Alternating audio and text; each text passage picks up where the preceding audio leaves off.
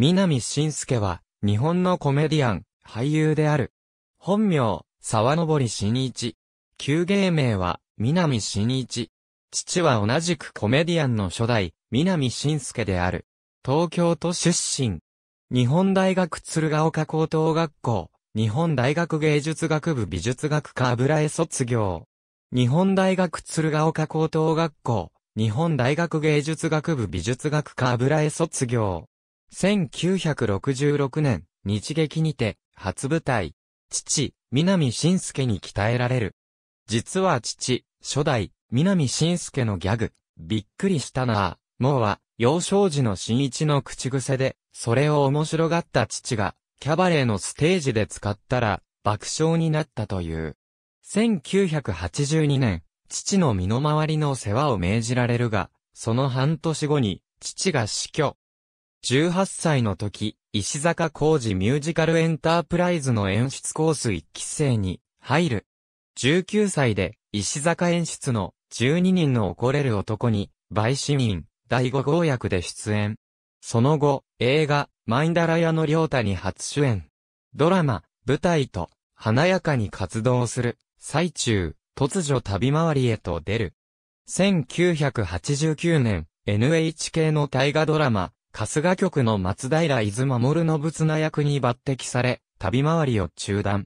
ドラマへも多数出演しつつ、夜のクラブシーンで、パブロ・サンパと名乗り怪しい歌手として再度旅回りへ出る。スペイン帰りの謎の歌手として、東京パノラママンボボーイズにメインボーカルで参加。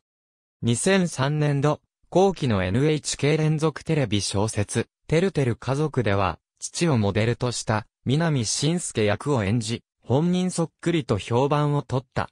なお、2019年及び2020年に放送された BS 商店ドラマスペシャルの第2、3作でも、商店司会者だった初代南信介を演じている。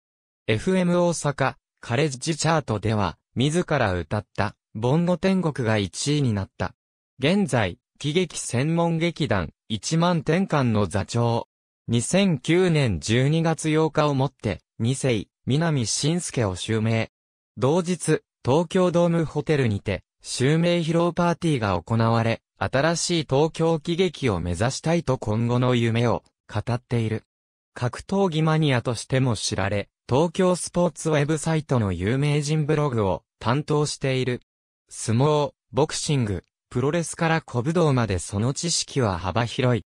特に、大相撲マニアとして知られ、2010年5月16日の大相撲夏場所8日目には、NHK の大相撲テレビ中継のゲスト解説者として出演。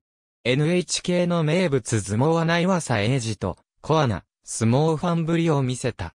2015年7月に白野、オケイと共にコントユニット、満点、トリオを結成。同じくして、キングオブコント2015にトリオで参戦した。ありがとうございます。